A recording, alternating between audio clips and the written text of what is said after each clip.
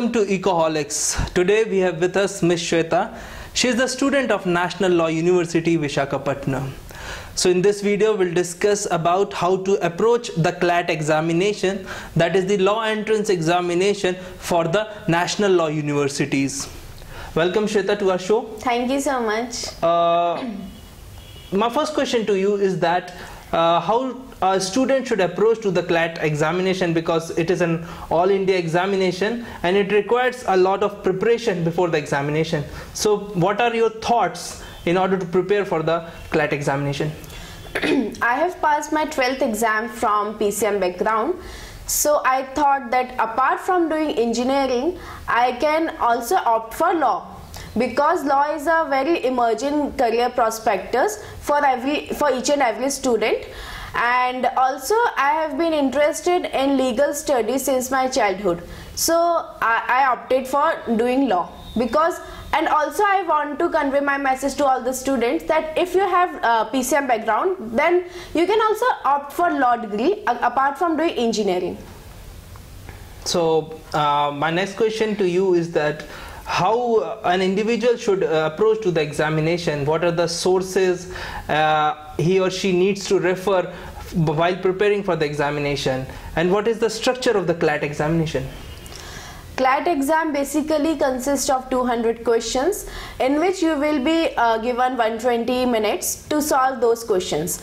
Uh, CLAT question paper is divided in five sections in which GK and uh, legal aptitude uh, consist of 50 marks each and legal uh, logical reasoning and English consist of 40 marks each and elementary maths consist of 20 marks which is very easy. And for PCM students it become a plus point for those students to solve maths. It will be it will become very easy for those students to solve uh, math uh, 20 questions of maths within a prescribed time limit okay. So what are the sources for uh, mathematics or reasoning whatever you are referring that these are the sections? So please tell our viewers that what are the sources to refer in order to prepare for this examination I think test series plays a very important role in achieving a good rank in CLAT examination. Because uh, in CLAT you you have to uh, solve all the question all 200 question within 120 marks. So it, it is not very uh, easy to solve all, all those question within the prescribed time limit so one must uh, go for joining the test series. I've also joined a test series of one of this institute. It, it resulted me uh, it results in a very uh, helpful manner like it will enhance your speed it will give you a good platform to practice all the questions within the prescribed uh, time limit and uh, you will be able to solve all those questions very easily and uh, if we say that if one one student is not able to afford online test series he can also go for the uh, offline. That is uh, he can also purchase one of the books from any of the bookstore. And in in, though, in that book he can go for practicing practicing those papers offline also. Okay so it means the previous year papers are also very helpful yeah. for the preparation yes, of the examination yes. So uh, what one must uh, one must go for the previous year uh, uh, previous year question papers to get to know about the pattern of the examination, difficulty level of the questions, etc. It means online test series is very helpful in grooming the speed and the accuracy. Yes, because there's uh, negative marking in the examination. So how how uh, one should tackle the negative marking according to you? One should be very cautious when he, he is solving that question. And one must not give a lot of stress to a particular question which he is not getting. Like if one is stuck in a particular question he must jump to the next question. Otherwise the time is uh, uh like there's lack of time always. It means the individual can revisit the question but should not put the stress on yes, only exactly. one question exactly so because you have referred that there's one section also of general knowledge So, according to you, what are the sources to refer to general knowledge? Because it consists of a static general knowledge and current affairs too. General knowledge section plays a very important role in the CLAT examination because it will uh, it will consume less time for a student to solve those 50 questions. 50 question makes a big part in that 200 questions. 200 question. Yes. So uh, I have referred various books, but uh, my primary sources were Lucent's General Knowledge of um Static General Knowledge, in which polity, history, and geography became a very helpful factor for me to crack the exam. And also there is one book of Lucent's MCQ. It it becomes very helpful for the student because uh, CLAT examination is MCQ only. Ah, so it will help in practicing those questions. Yeah. So it will. Uh, and what are the sources for current affairs? Uh, the recent. For current affairs, there's a lot of websites, online websites one must refer like GK Today, GK Today's quiz, Jagran Josh, Clouds Affair, etc. I have referred GK to I have uh, put a more stress on GK Today website because uh, in uh, in GK Today website there's GK Today quiz also, and in CLAT examination the question most of the questions come from GK Today uh, quiz only. Okay, so it will. come I have directly- observed that, but it is not. Uh, it is not um, uh, I have just observed that most of the question come from GK Today quiz.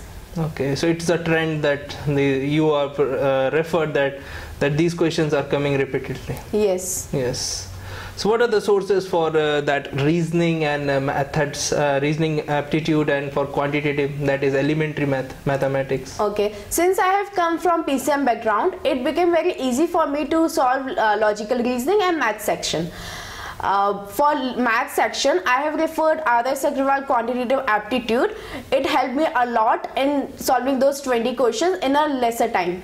And for lo- logical reasoning, I have uh, re- referred the same book that is R.S. Aggarwal. It's a very fat book and it helped me a lot because it uh, when also i would uh, like to give you one advice that whenever you solve uh, the students when, whenever the students solve any particular question uh, he or she must have uh, start a stopwatch so that uh, they can they can uh, have a watch that how many how much time they- they are spending in that particular question. Okay, so that's very beneficial for the managing the time limit yes. in the exam. it helped it helped me a lot in uh, managing the time in in actual exam So the CLAT mean also I, I want to add one more point that i have solved more than 30 test series uh, more than th- 30 full length tests and it it, uh, it it is very beneficial for the student in the actual exam because they uh, they got to know a particular briefly idea rough idea about how ma- how much time in how much time they are completing the whole question paper. Okay, so it will be very helpful in uh, completing the paper in the prescribed time limit. Yes. Yes, because GK is very beneficial in uh, saving the time for Yes. reasoning and mathematics. because it it has a many number of questions Many number of questions. and you can solve in within mm, uh, 5 minutes or 6 Six minutes, yes. So what are the sources for uh, English? for the english i have referred tmh english and uh, i focused on comprehension part more because in reading comprehension it gives us a passage of two or three paragraphs. But whenever you read a two or three paragraphs uh, comprehension you will be you will be able to solve all the 10 question by just reading that particular paragraph. So it will cover your uh, 10 question out of those 40 questions Oh, What a question. yeah. and in and in one of the year CLAT also gave uh, four comprehensions of 10 marks each in uh, CLAT examination And so comprehension becomes a very important part in English. Hmm. And I have referred R.S. Aggarwal for that English also and TMH book. Those two books are very helpful. Okay. So when we consider the uh, legal methods section, because it is uh, very new for the 12th standard students, so legal aptitude, how to prepare this uh, legal aptitude part and what should a student should refer these books? Legal aptitude basically consists of three uh, important law subjects that is law of torts, criminal law and contract law. For that uh, I have referred uh, LexisNexis book. It is also a fat book which consists all the section, all the five sections. But uh, for legal, it becomes a very helpful for one student who are preparing for CLAT exam to refer legal knowledge as well as, as well as legal reasoning from that book. Okay. It will give you a brief idea about the law, Law. and the questions. uh, that how questions are framed in the actual examination, how facts, issues, and options are given. Uh, you have to apply your mind while uh, while solving those questions. That in this situation, how to react, etc. Okay.